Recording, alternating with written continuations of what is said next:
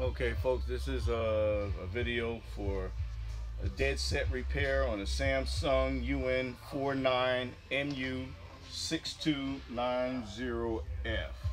It's a newer Samsung 4K. It may be a 4K uh, smart TV. Uh, it does not power on. This TV uh, has four screws that holds the the uh, stand, the base on, and once you remove those four screws,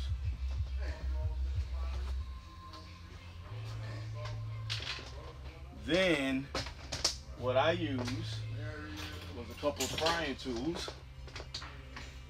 I used a couple of prying tools and I started in the left corner right here and I just popped it, you know, popped it free all the way around.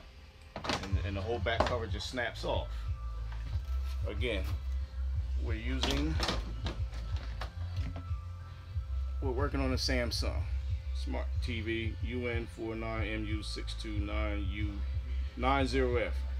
It has uh, no power, doesn't even come on, no, no nothing.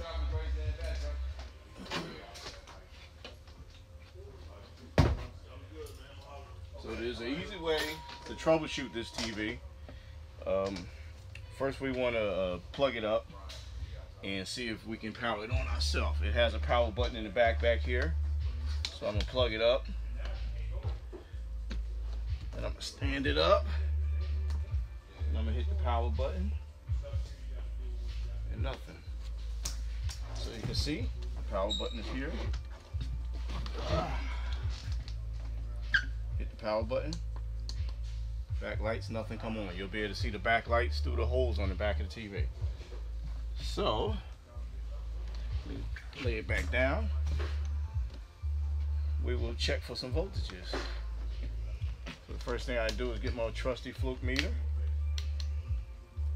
and connect to the chassis ground. And I'm gonna try to face the meter so that you can see it also. And it shows that it should have a 13 volts at pin 3, 5, 7, and 9. Uh, it has an on and off. It has a pulse width modulator for the backlight. It has a power on, two grounds, and a dim.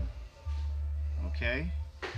And according to this, 3, 5, 7, and 9 should have 13 volts.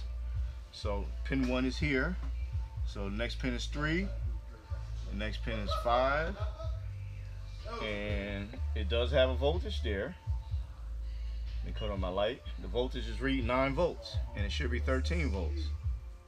Pin 3 is reading 9 volts. Pin 7 is reading 9 volts and so is pin 5 they all should be 13 volts. So to me it seems like something's pulling down my 13 volt supply. And that one is reading 9 volts. Hopefully you can see. It should be 13 they're all reading 9 volts so this TV here, you can pretty much isolate whether it's the main board or the power supply board that's causing the problem. If it's the power supply board, uh, we can repair the 13 volt supply. Uh, it's probably just a voltage regulator. If it's the main board, we have to replace the main board because there's something on the main board loading down the power supply. So the quick way to check this out is we will disconnect the cable here from the main board and if our 13 volts come back up, then we've found the problem that it's it's the main board that's pulling down the 13 volts. Um, so what I'm gonna do is I'm gonna unplug the power. I'm gonna disconnect the, the connection to the main board. And we have a call, of course.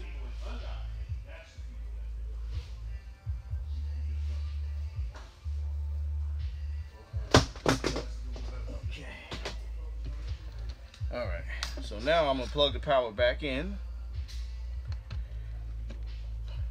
And voila, look at there, we have backlight. We have backlight. So this is a good way to test for backlights also. If the backlights aren't coming on, as you can see, there's backlight shining through. So what I need to do now is go back and check those 13, that 13 volt points and see what we have. So I go back to pin 3, look at that. We have 12.9, which is essentially 13 volts. We have 12.88, 12.88. So we have our 13 volts now. So that lets me know that the power supply board is okay and that there's something on the main board drawing down our power supply or the T-con connection which this one doesn't have a T-con board it just goes right into the panel could also be drawing down our, our, our 13 volts but more than likely it's the main board so what I'm gonna do is I'm gonna check and see if all the voltages are present so I'm gonna go to this pin right here and it's at ground the next one should be at ground the next one should, is 5 volts. That's power on pin. The next one is the backlight. Pulse width modulated voltage is 3.1 volts. The next pin is 3.6 volts. That is the on and off, display on and off. And the next one is the dimming circuit, and that's 3.2 volts. So those voltages are proper. If I check the back, the back uh, first pin is at ground, which it should be. The next pin is 12, 13 volts, 12.9, 12.9. These were the voltages that was uh, that was loaded down. So, and the last pin is 0.7 volts. So those voltages are proper. So we've we've found our problem. The problem is the main is the main board, and we will order a new main board and have it replaced. Okay, folks. Thanks for watching this video. See you soon. Like and subscribe.